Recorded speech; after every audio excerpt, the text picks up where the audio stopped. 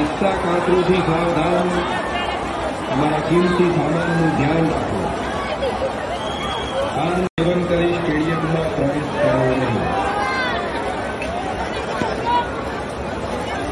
સ્ટેડિયમમાં પ્રતિબંધિત વસ્તુ લઈ લેવા